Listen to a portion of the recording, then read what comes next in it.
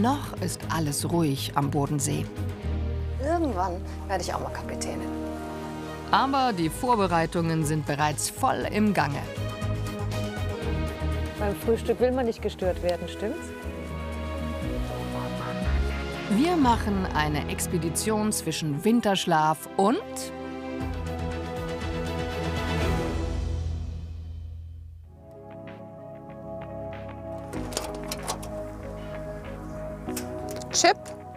Funktioniert. Feier. Geht auch. Machen wir wieder zu. Dann schauen wir hier, dass die Kraftübertragung funktioniert von den Pedalen auf den Heckrotor. Bald geht's los. Frühling und wir mittendrin. Wir sind diesmal am Bodensee und zwar zu einer Zeit, von der viele behaupten, es sei die schönste am See. Noch still, noch kein Rummel, aber überall herrscht schon Aufbruchstimmung. Hier auch. Julika, Stillstand ist eh nicht dein Ding, ne? Du bist sowas wie eine Überfliegerin und das hier ist ja nur dein Hobby. Ganz genau. Ja. Helikopterfliegen. Wer von beiden fliegt? Ich bin Schülerin heute mit meinem Fluglehrer Timo und da gehen wir auf zum Schnupperflug. Ich bin dabei. Ab in die Luft. Einmal Platz nehmen. Anschnallen bitte. Hm, mach ich.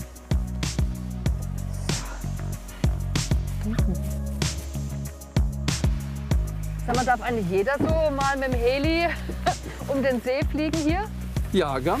Wir sind das ganze Jahr da, machen viel Hubschrauber selber fliegen, Rundflüge über Bodensee, Rheinfall, Alpen, Österreich, Schweiz.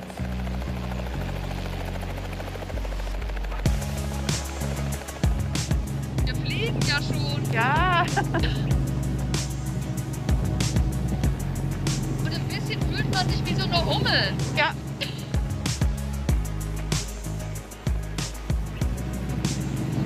Muss das alles genauso wie beim Flugzeug machen. Also wir fahren jetzt auch quasi die Wege ab. Da hinten kommt jetzt noch eine landende Maschine, die müssen wir wahrscheinlich nur vorbeilassen und dann. Delta Hotel Echo Delta Bravo, Abflug wie gewünscht, Wind 230 Grad, 4 Knoten, Piste 24 startfrei. Oh, jetzt geht nach oben.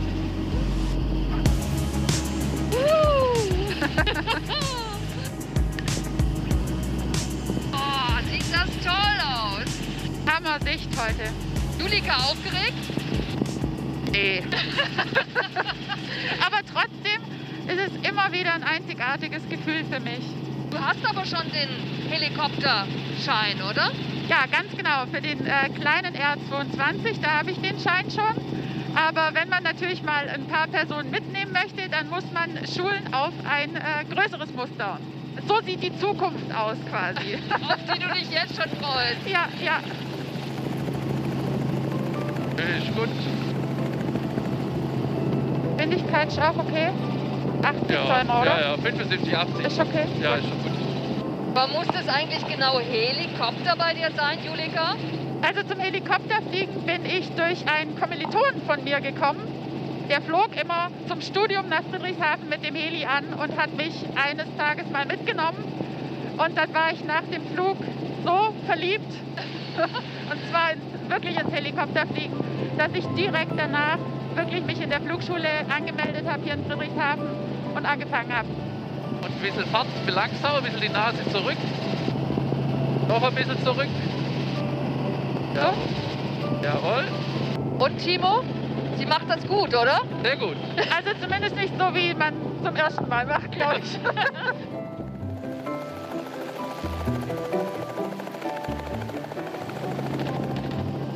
Also deine Leidenschaft fürs Fliegen kann ich schon verstehen, auch fürs Helikopterfliegen. Schon, oder? Aber deine andere Leidenschaft ist ja auch nicht ohne, beziehungsweise das ist dein Job. Und der ist auch ziemlich aufregend. Ja. Ist Fliegen eigentlich sexy? Ich finde Fliegen sehr sexy. Auf jeden Fall, oder? Wer wird nicht verraten? Nein. Ein bisschen Spannung muss sein. Aber keine Angst, wir lüften das Geheimnis. Denn Julika treffe ich später bei ihrer Arbeit in Hagnau wieder. Auf unserer Reiseroute liegen aber noch viel mehr spannende Geschichten. Am Nordufer des Bodensees besuchen wir die berühmten Pfahlbauten in Unteruldingen. Den Affenberg in Salem, treffen einen Wasserfahrradfahrer und gehen mit einer ziemlich coolen Gruppe zum Paddeln ins kalte Wasser. Erste Station, die Blumeninsel Mainau. Hier ist man dem Frühling immer schon ein Stückchen näher.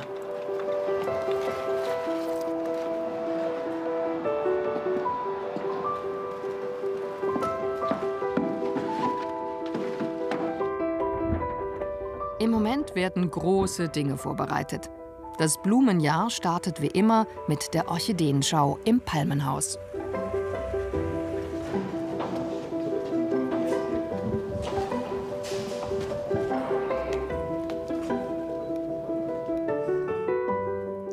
Dorthin zeigt mir die Inselchefin persönlich. Die meisten Ausflugsziele am Bodensee machen Pause im Winter, nicht so die Mainau. Nein, weil wir tatsächlich finden, dass Garten und Natur auch im Winter sehr schön ist. Was gibt's denn jetzt alles gerade zu sehen? Ja, es ist sehr schön, dass der Winter so Dinge bereithält wie eine blühende Zaubernuss zum Beispiel. Also es gibt so Gehölze, die blühen einfach im Januar und im Februar. Wir haben einen Papierstrauch, der so weiß-gelb ganz toll blüht. Und wenn man dann so in der Frühlingsallee äh, da kommt ja auch viel Sonne hin, weil es die Südseite ist, schon diese grünen Blätter rausspitzen sieht, dann spürt man, wie viel Energie da im Boden ist. Ja? Ich merke, wir so- zwei, wir lieben den Frühling, oder? Ja, das ist großartig. Wenn ich dann schon den ersten Krokus sehe, möchte ich Hallo sagen. Schön, dass du da bist. Kommt noch mehr.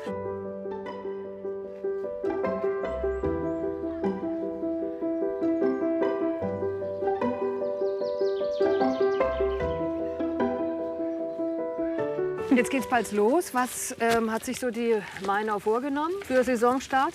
Ja, wir dürfen ja dieses Jahr und nächstes Jahr ein ganz tolles Thema feiern, weil unser Schloss 275 Jahre alt wird. Und äh, da haben wir uns überlegt, da stellen wir doch die nächsten zwei Jahre unter die Überschrift Wir feiern. Also zum Beispiel äh, wird es große Kleider geben aus Pflanzen, äh, hinter die man sich dann stellen kann und sich quasi in einem Festgewand aus Blumen fotografieren.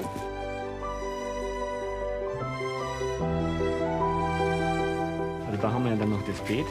Genau. Und da haben wir ja Grün und Orchidee gemischt. Da müssen wir dann noch die Feinabstimmung machen, wo welches Musikinstrument. Palmhaus wird auch schon gewerkelt für die neue Stimmiges Saison. Bild. Ja, ist so. Hallo, Herr Zeiler, Herr gleich Schober. Schön, Hallo. Sie zu Hallo, sehen. Ja, Sie sind ja schon voll mittendrin So im Aufbau aus. für die Orchideenschau. Das heißt, wie viele Orchideen werden dann hier in die Show eingearbeitet? Ja, schon so annähernd 3000. Von der ganz kleinen bis zur üppigen. Alle möglich, die ganze Farbpalette. Genau.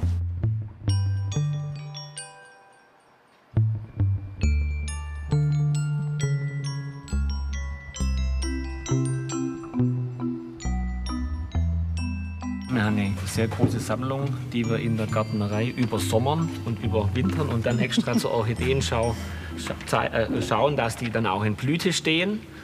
Und das sind so etwa 6000 Exemplare. Da haben wir zum Beispiel die Wanda, Boah, weil die die, ist aber auch kommt schön. ganz ohne Erde aus und muss aber täglich befeuchtet werden. Und die hängen wir dann im Gewächshaus so auf. Die darf man wahrscheinlich nicht jeder anfassen, oder?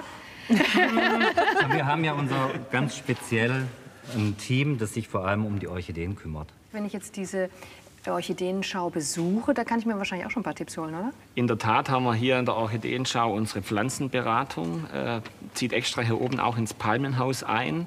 Das heißt, der Besucher kann seine Pflanzenprobleme, auch seine speziellen Orchideenprobleme mitbringen und hier die Frage stellen, bekommt dann eine fundierte Antwort. Und auch der ein oder andere Einkaufswunsch können wir hier befriedigen. Orchideen sind schon faszinierend. gell? Sie gibt es ja von ganz einfach bis wow. Ja, absolut. Also es gibt so viele verschiedene Farben und Formen. Und hier sehen wir jetzt ja schon so ein bisschen die Bandbreite. Äh, Und es gibt aber auch wirklich welche mit ganz kleinen Blüten. Und es macht sehr viel Spaß, einfach diese Vielfalt, die die Natur erfunden hat, diesen großartiger Erfinder, das wirklich zu zeigen und damit so ein Blumenjahr echt zu starten.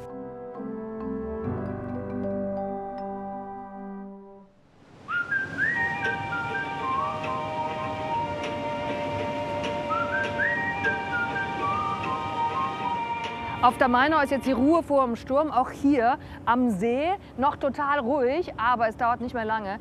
Dann werden hier ganz viele Schiffe rumfahren und Wasserfahrzeuge, darunter auch was ganz Verrücktes und das möchte ich jetzt ausprobieren. Ich hoffe, es ist eine gute Idee.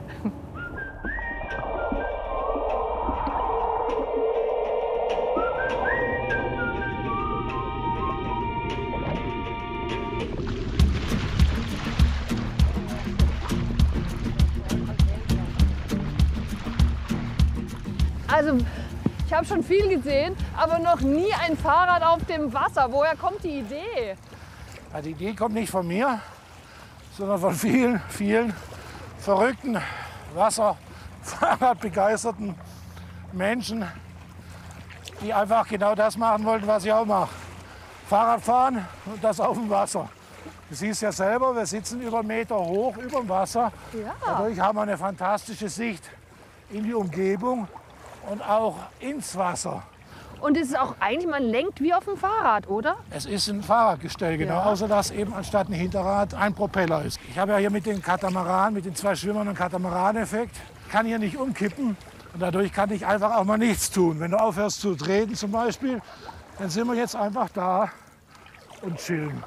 Aber es fühlt sich schon ganz schön wackelig an. Fängt an, mir Spaß zu machen.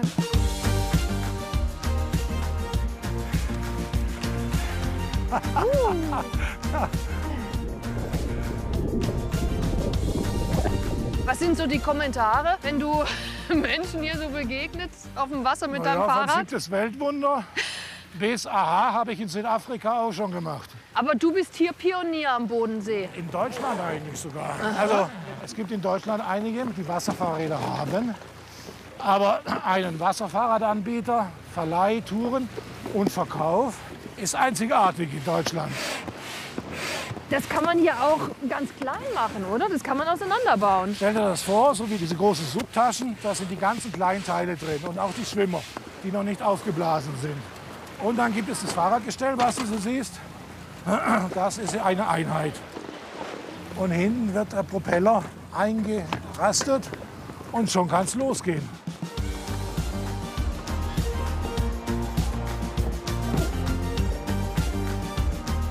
Peter, du bist ja quasi schon 15 Jahre mit dem Wasserfahrrad unterwegs.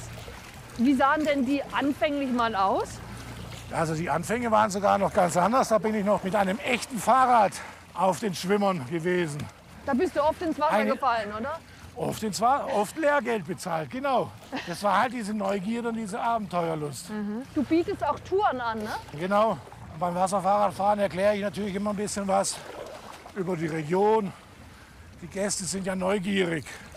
Das sollen sie ja auch sein. Ja. Was kostet es so ein Wasserfahrrad, wenn man das jetzt alleine bei dir mieten möchte?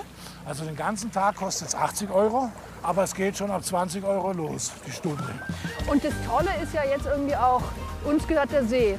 Alleine. Ja, also war der normal schönen Tag, wenn du das Wasserfahrrad den ganzen Tag mietest, kannst du schön entspannt in die Schweiz fahren. Ganz so weit muss es nicht sein.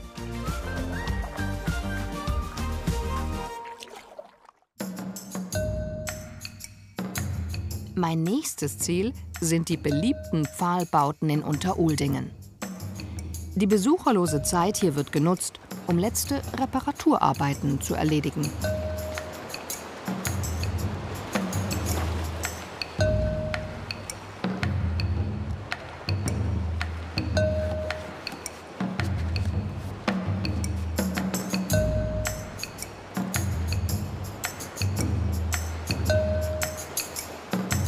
Das weltberühmte Pfahlbautenmuseum erwacht aus dem Winterschlaf gerade. Ja, wir freuen uns, dass der Winter vorbei ist und wir in die neue Saison gehen dürfen. Die Häuser sind frisch gestrichen und ausgefegt. Es fehlen nur noch die Pfähle und dann kann es losgehen. Es ist so wie beim Ulmer Münster. Wenn man an der einen Ecke fertig ist, fängt man an der anderen wieder an. Es ist ein Museum vollständig aus Holz gebaut. Das heißt, es braucht sehr viel Sorgfalt, dass es eben auch weiter besucht werden kann.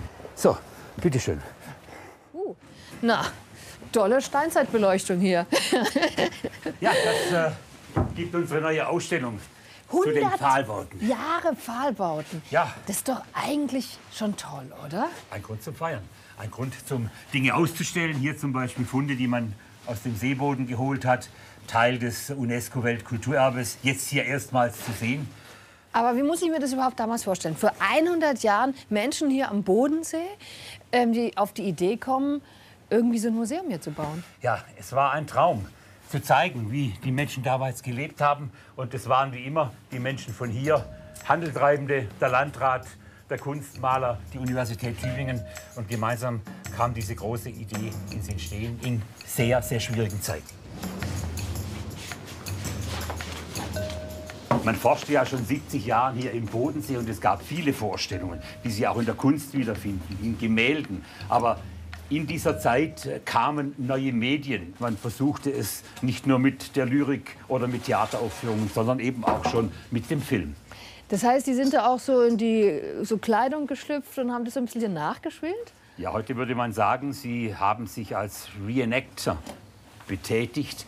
Sie haben Living History eigentlich äh, modern umgesetzt, eben aus dem Wunsch heraus, sich diese frühen Zeiten vorzustellen. Sie müssen sich überlegen, wir sind in den 20ern, die spanische Grippe war vorbei, die wirtschaftliche Krise war immens und dennoch gab es Menschen, die hier mit Esprit und mit einem sehr starken Willen innerhalb kürzester Zeit so ein Museum erbauten.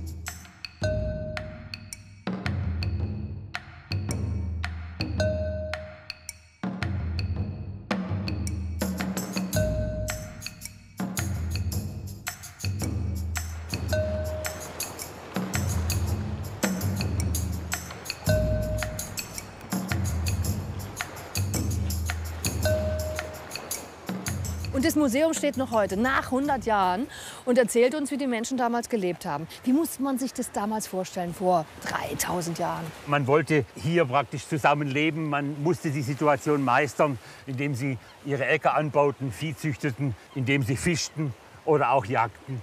Weil damals eigentlich die Gegend um die Siedlungen herum beinahe wichtiger waren wie die eigentlichen Häuser. Man lebte aus der umgebenden Raumschaft, die Umwelt war wichtig und dort bekam man alles, was man für das Leben brauchte. Das heißt, die waren nicht nur hier am Wasser, sondern die sind auch in die Wälder und sind dort durchs Dickicht gestreift.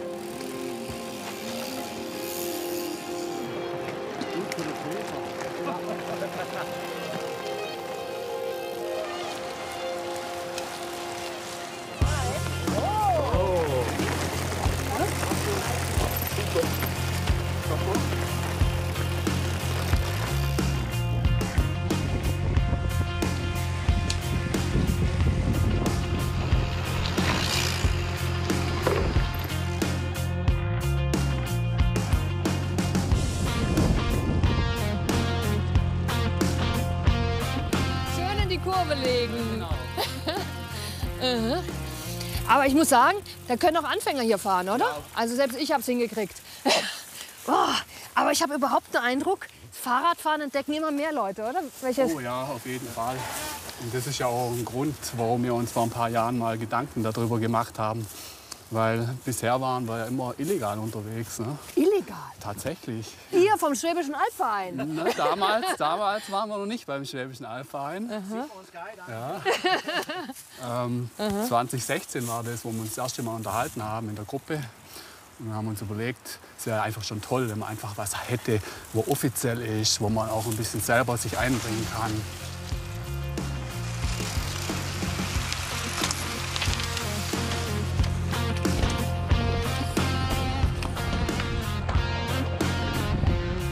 Solche Mountainbike-Trails, die sind auch immer so ein bisschen umstritten, oder? Also es ist schon, es ist immer so ein... äh, Jäger, Anwohner, Wanderer. Wanderer. Klar, hitziges Thema, das stimmt, ja. Aha. Wie du sagst. Aber mit viel Freundlichkeit, wenn man gleich entgegenkommt mit viel Freundlichkeit, dann hat man auch schon gleich viel gewonnen. Von dem her, wenn man jetzt natürlich hier durchbrecht und schreit nachher auf die Seite oder so, dann macht man natürlich keine Pluspunkte. Auch absteigen mal, wenn du einen Wanderer irgendwo auf dem Zufahrtsweg hast. Rücksichtnahme, absteigen, freundlich sein und gemeinsam den Wald benutzen. So Schwäbischer Albverein, also hat ja noch so ein Image, so ein bisschen so verstaubt. Ähm, wie erlebst du das oder ihr? Ja, habe ich am Anfang auch gedacht. Aber wir sind da so herzlich aufgenommen worden und haben dann innerhalb des Schwäbischen Albvereins die Mountainbike-Gruppe gegründet. Und dort kümmern wir uns mit Vorliebe natürlich um diesen Gero-Trail und wollen den halt auch weiterentwickeln. Das Tolle ist, man kann den Trail das ganze Jahr überfahren. Ne? Auch jetzt ist gerade super. Perfekt. Wenig Frequentierung, tolle Verhältnisse. Man zieht sich warm an und genießt den Gero Trail auch um diese Jahreszeit. Boah,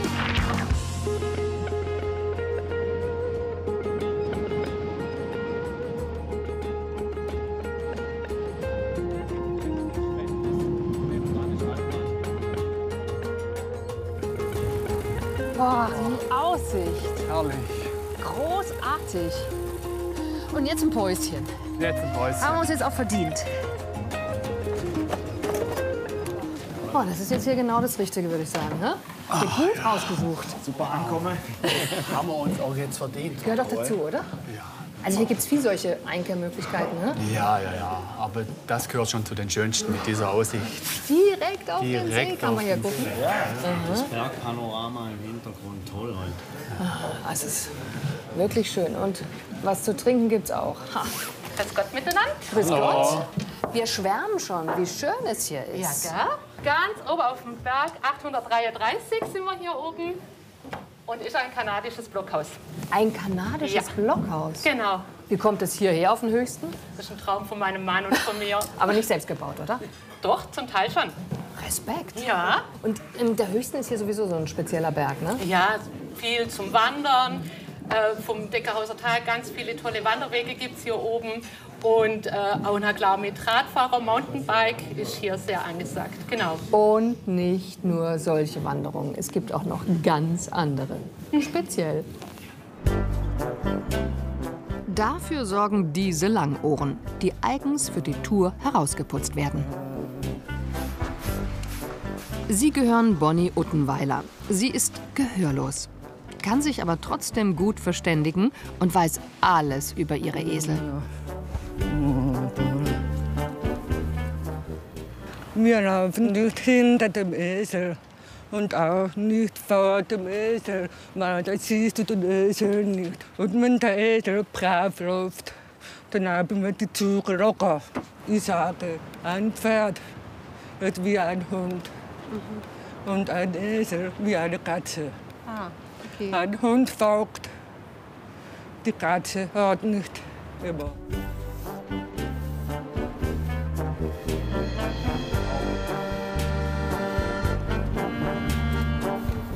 Sind die süß? Ja. Bonnie, du bist sowas wie die Frau mit den Eseln hier auf Ja, dem höchsten, stimmt, ne? stimmt. Das ist deine Welt hier, mit den Eseln Wanderungen anzubieten. Warum gerade mit Eseln? Mein Bruder hat vor sechs Jahren einen Esel gekauft in Kiel und ist mit diesem Esel von Kiel hierher gewandert. Von Kiel? Ja. Nein, von. Norddeutschland hierher, auf den höchsten. Wahnsinn, oder? Mein Bruder. Mein Bruder.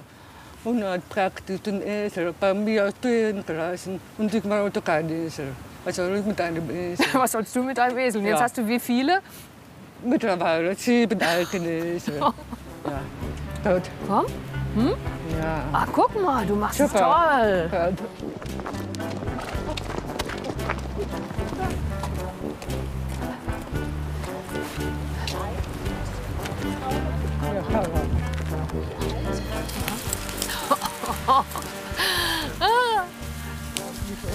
Also die hat aber echt Temperament. Ja, Französisch.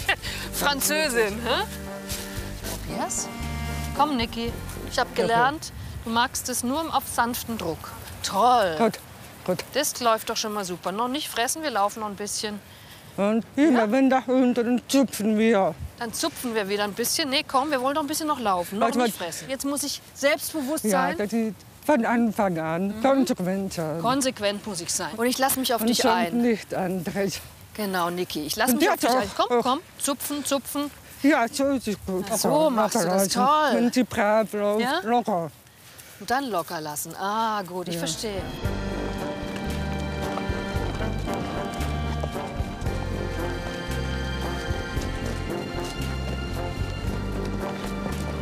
Bist du schon mal dem Esel gelaufen? Pony. Pony, ah. Und wie ist es jetzt gerade so für euch mit den Eseln? Ein besonderes Erlebnis. Oder? Also auch wie die Tiere so reagieren und mitmachen oder nicht mitmachen. Also ja, schon mal was Besonderes, was man nicht jeden Tag erlebt. Und es heißt ja irgendwie immer, Esel sind störrisch. Aber ich Ja. weiß nicht, sind sie störrisch? Sie sind, haben ihren eigenen Willen, oder? Sie Wie- haben schon einen Willen, glaube ich auch. Gell? Aha. Aber sie sind auch irgendwie sensibel. Du bist Bonnys Sohn? Ja, hm? ja. Hast du schon was von Eseln gelernt? Ich, meine, ich habe ja? hab viel, hab viel von Eseln gelernt, ein bisschen runterzukommen. Der entschleunigt schon so ein genau, Esel, Genau. Ja, du lernst von einem Esel einfach mal die Situation zu genießen. Es geht nicht nur immer nach mir, der Esel bestimmt das Tempo meistens. Ja.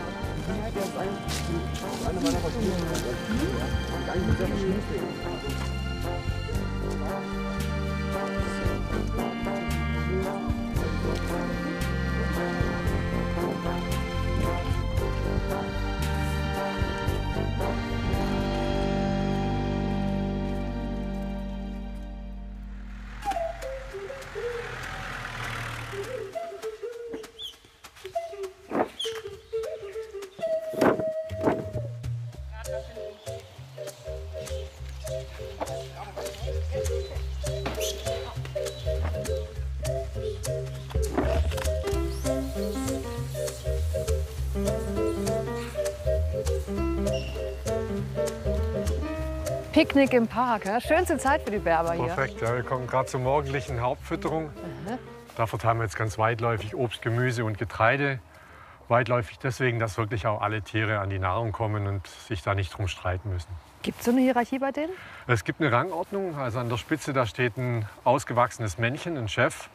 Und dann kommen alle anderen Männchen und äh, erst dann die Weibchen. Aber auch bei den Weibchen gibt es ein ranghöchstes. Und so das ranghöchste Weibchen und das ranghöchste Männchen bilden so auch das Zentrum der Gruppe. Kann ich hier ähm, quasi Menschen beobachten? Bisschen? Also wenn ich mir unsere Männchen anschaue, Mhm. dann fühle ich mich so ein bisschen an unsere Politik erinnert. äh, denn äh, die müssen auch gute Netzwerker sein. Mhm. Da wird nicht automatisch das kräftigste oder stärkste Männchen äh, Chef in der Gruppe, sondern derjenige, der es schafft, möglichst äh, hochrangige Freunde auf seine Seite zu bringen. Also der braucht Koalitionspartner, um wirklich das Rennen bis zur Spitze machen zu können.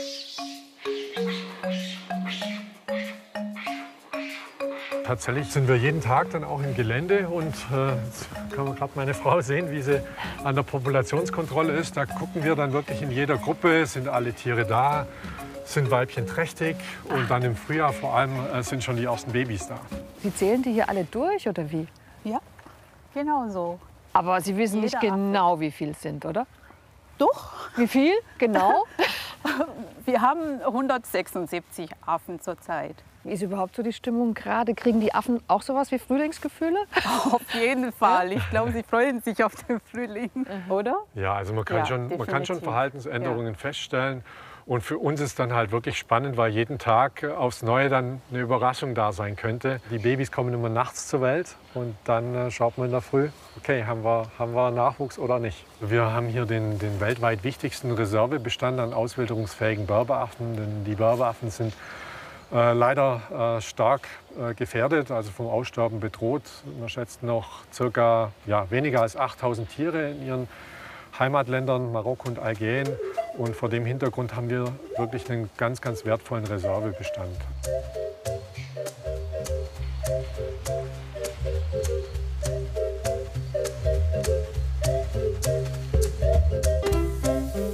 Knapp die Hälfte dessen, was man über Berberaffen weiß, stammt tatsächlich von unserem Park hier in Salem und von unseren zwei Partnerparks.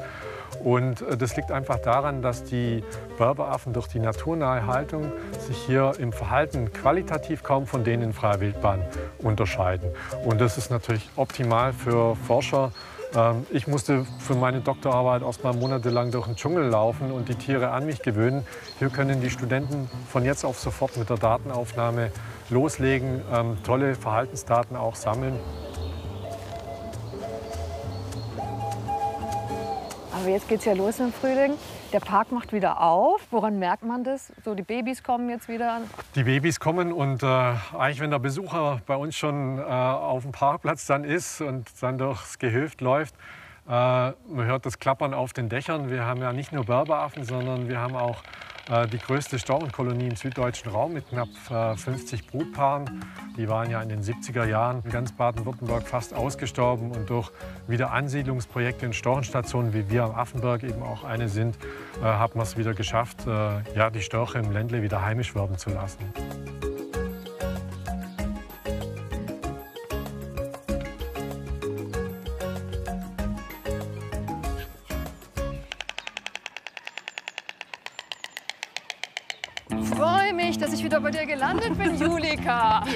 Also das mit dem Hubschrauber war schon mal sensationell. Aber deine zweite Leidenschaft, ich glaube, die ist mindestens so aufregend. Ich rieche schon hochprozentiges. Das gibt mal Gin. Gin, von uns gemacht. Genau, von uns zwei. Okay. Wir fangen mal mit den Kumquats an. Und die Kumquats schneiden wir mal in schöne Ringe. Mhm. Und dann kommt nachher alles hier in unseren Eimer. Sag mal, wieso eigentlich gerade Gin? Naja, Gin kann man ja sagen, ist so seit gut zehn Jahren tatsächlich in aller Munde. Und ich kam dann mit der Idee zu meinem Papa und der war alles andere als begeistert. Warum? Der hat tatsächlich zu mir gesagt, jeder Depp macht jetzt Gin. und was hast du dann gesagt? Ja, dann probier es jetzt auch.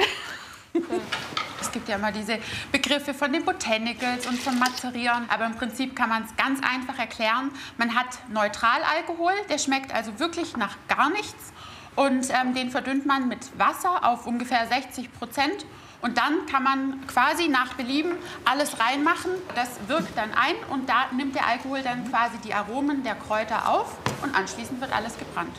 Alkohol und Wacholder machen Gin auf jeden Fall zum Gin und alles andere kann noch so dazukommen nach Lust und Laune der Brennerin. Exakt. Was hat jetzt genau der Gin mit der Fliegerei zu tun? Dein Gin? Mile High 69 geht zurück auf den Mile High Club. Ein Club, den gibt es eigentlich nur im Sprachgebrauch. Und er vereint all diejenigen, die schon mal ein amoröses Verhältnis in der Luft hatten. Also genau in einer Meile Höhe. Nein. Ja.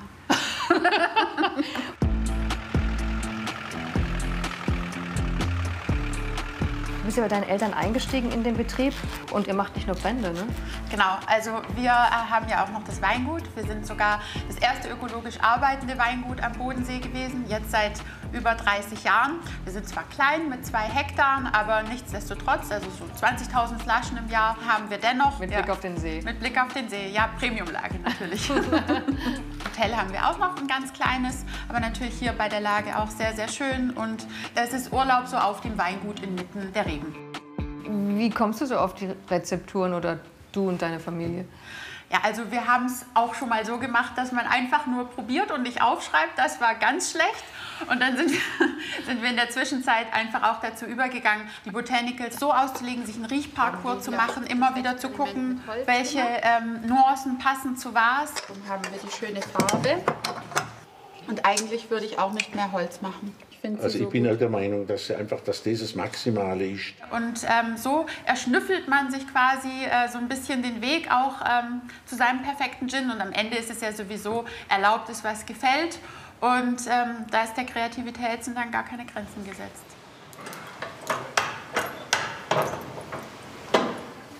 So, das hat jetzt die richtige Temperatur. Und hier haben wir unsere fertige Mischung. Die kommt jetzt. Oh, so. Darf ich mal kurz gucken? Ja klar, Vorsicht. Wie das Heiß. brodelt. Wie es riecht. Riecht wahnsinnig toll. Aber Jetzt machen irgendwie so ein wieder zu. bisschen wie in so einem Dampfbad. Ganz genau in einem Wellness. Aromatherapie-Dampfbad. so, und jetzt wird das Ganze gebrannt und dann zum Schluss kommt wunderbarer Gin hier raus.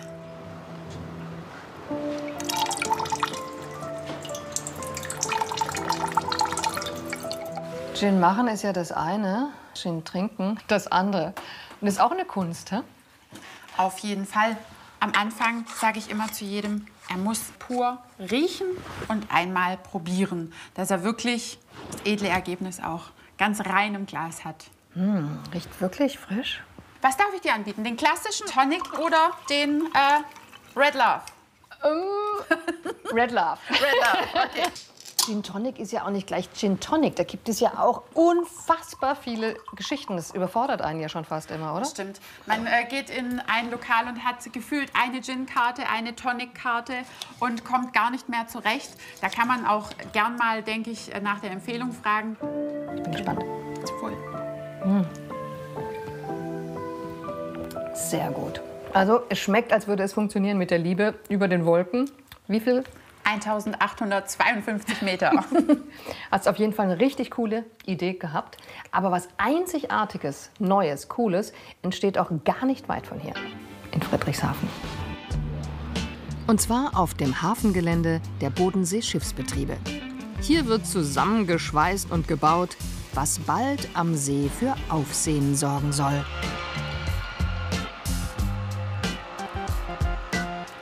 Sie starten ja gleich mit einer absoluten Neuigkeit ins Frühjahr.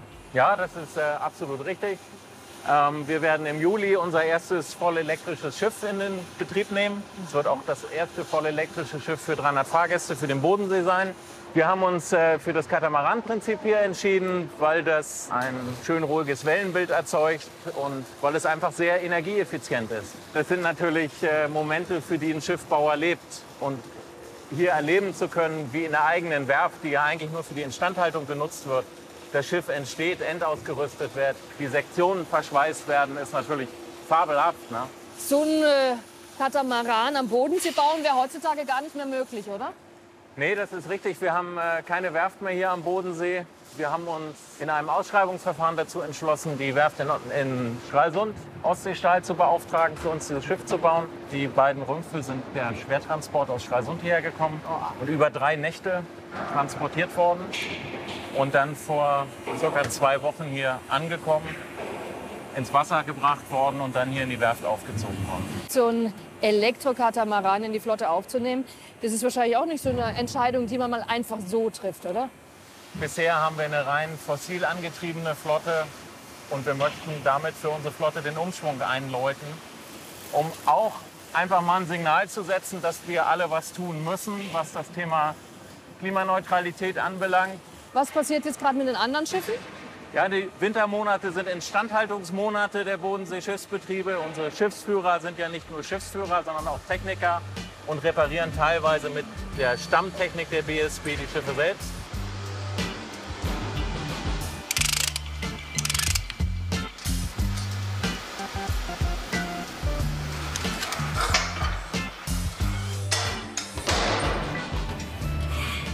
Und jetzt geht's los?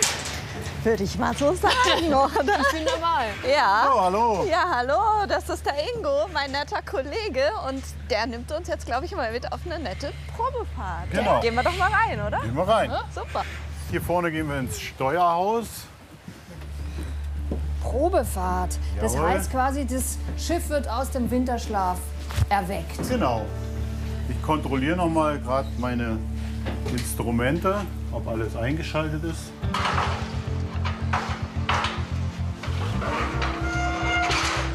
Alles los! Alles los!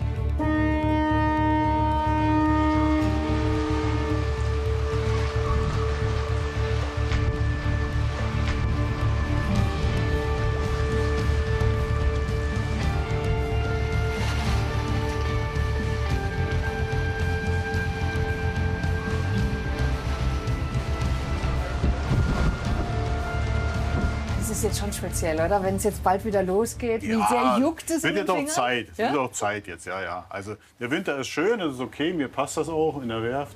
Man hat eine geregelte Arbeitszeit und man hat ein Wochenende und alles. Aber es wird dann auch wieder Zeit. Man muss dann auch wieder los. Das Mhm. ist einfach, das ist das Leben, das ist der- der Job irgendwie. Ja. Ihr macht auch Ausbildungen, bietet ihr an, ne?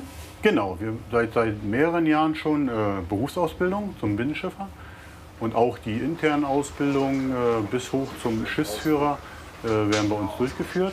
Wir haben jetzt gerade wieder einen Lehrgang, da sind wir ein paar junge Steuerleute hier auf dem Schiff jetzt gerade und machen ihren Schiffsführerlehrgang, der dann im Mitte März abgeschlossen wird, hoffentlich mit Erfolg bei allen. Ist es ein schöner Beruf? Absolut. Mhm. Also ich habe es bis jetzt nie bereut. Also Eine der wenigen Schiffsführerinnen waren auch Sie mal. Ne? Genau. Aber jetzt Ja. haben Sie so ein bisschen die Seiten gewechselt. Ja, sagen wir es mal so, ich mache jetzt die Orga, dass der Ingo weiß, was er dann zu fahren hat. Ihr seid verantwortlich quasi für die normale Schifffahrt hier auf dem Bodensee, aber ihr habt auch spezielle Angebote, oder? Genau, also es sind auch so Sachen wie zum Beispiel das Whisky-Schiff. Also sprich unsere MS Schwaben ist revitalisiert im Art Deco-Stil. Und was kaum jemand weiß, unten im Bug fahren Whiskyfässer mit. Dass der Whisky schön geschaukelt wird und hier sanft auf dem Bodensee die richtige Reife bekommt. Was ganz Besonderes. Wir haben ganz tolle Partys hier in Friedrichshafen. Ähm, auf der Motofähre Euregia kennen bestimmt ganz viele. Die Schlagerpartys mit unserem King Carla und die Flottensternfahrt, die jetzt praktisch den offiziellen Saison beginnt, hier am See Ende April einläutet. Da freuen wir uns schon drauf. Ja, viel los ist jetzt gerade nicht, ne? Also kleine Boote gibt es kaum. Ein paar Fische, aber sonst eigentlich im Winter so gut wie gar nicht. Aber eine kleine harte Truppe gibt's. Die geht bei jedem Wetter aufs Wasser. Und das hat gerade mal 5 Grad Celsius. Gute Nachricht ist schon mal, der Anzug ist dicht. Für dieses eiskalte Abenteuer empfiehlt sich ein Trockenanzug. Er schützt für den Fall, dass das Boot kentert. Was ich natürlich nicht hoffe.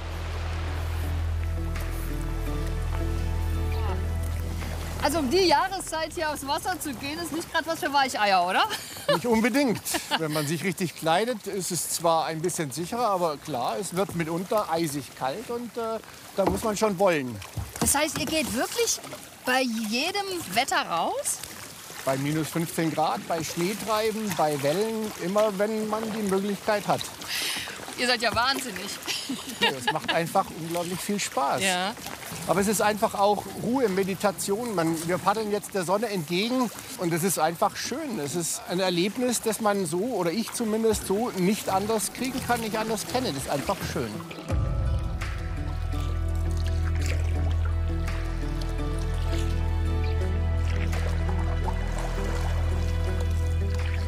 Ihr seid so eine eingeschworene Truppe oder wie ist das? Ja, wir sind ein Verein hier in Fischbach und äh, ein Teil der Vereinsmitglieder geht auch gerne im Winter raus. Wir sind vier, fünf Leute, manchmal sechs und äh, treffen uns Dienstagabend so zwischen 17 und 18 Uhr und gehen gemeinsam aufs Wasser. Judith, warum machst du da mit? Wegen des kleinen Abenteuers unter der Woche nach der Arbeit. Für mich ist es auch ganz oft Sport, weil ich im Winter meistens die einzige Frau bin und die Männer, die wollen auch gerne mal schneller paddeln und sich auspowern. da wird es für mich dann doch anstrengend. Gibt es was, was man beachten muss oder sollte?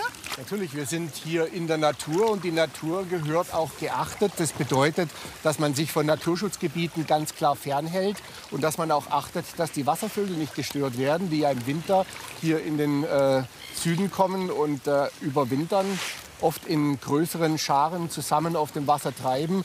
Und wenn man die stört, sprich dort hineinpaddelt in diese äh, Ansammlung, dann äh, verlieren sie Kraft, da sie auffliegen, wieder runterkommen, wieder auffliegen. Und das sollte man also unbedingt vermeiden. Naturschutz ist für Daniel wirklich sehr wichtig. Und sich an die Regeln zu halten, oberstes Gebot. Macht ihr tatsächlich auch so größere Touren? Ja klar, es ist total schön, wenn es schneit, zu sagen, man packt ein Zelt ein, einen tollen Schlafsack und paddelt an eine Stelle, wo man übernachten darf, schlägt sein Zelt auf, macht ein Feuer, genießt die Nacht und paddelt am nächsten Tag wieder zurück. Aber Gepäck kann man nicht gerade viel mitnehmen, ne? Also für zwei Wochen geht's, wenn man sich einschränkt. Echt? Okay. Ja, Also gut, was braucht man eigentlich schon im Leben? Ein Paddel in der Hand, Genau. die Sonne vor Augen.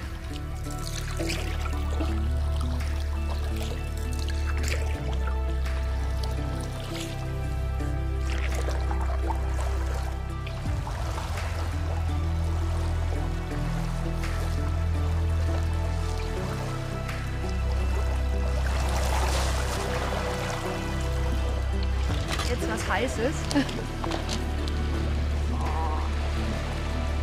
So ist es heiß. Danke.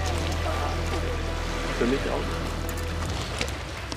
Oh, aber das tut jetzt richtig gut. Aber ich weiß gerade nicht, was es jetzt gerade Schöneres gäbe, oder? Als jetzt hier am Strand zu sitzen, dann das na, Meeresrauschen vom Schwäbischen Meer. Letzte Glühwein vorm Frühling. Ähm, freust du dich drauf? Ja, da freue ich mich auch wieder drauf, wenn die Blätter wieder grün werden und viel Wasser in den See kommt. Und man weniger auf dem Kajak anziehen muss. Genau, nicht mehr sich reinquetschen muss in den Trockenanzug, dann ist das alles ein bisschen entspannter und luftiger. Und dann macht es auch wieder Spaß. Was für eine wunderschöne Tour hier an den Bodensee. Gibt es gerade was Schöneres? Ich glaube nicht. Ich war wirklich schon zu jeder Jahreszeit hier am See, aber jetzt, wenn es so ein bisschen ruhiger hier ist, also die Jahreszeit, die hat wirklich Magie. Herrlich. Also, ich komme jetzt öfter. aber der Frühling soll jetzt trotzdem kommen.